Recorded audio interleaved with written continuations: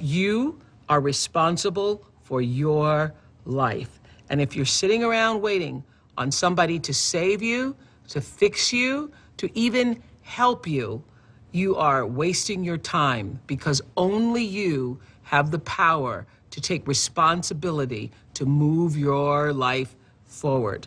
What matters is now, this moment, and your willingness to see this moment for what it is, accept it, forgive the past, take responsibility, and move forward. I came to realize that all the time I was praying to God, asking for God to do something, God was waiting on me.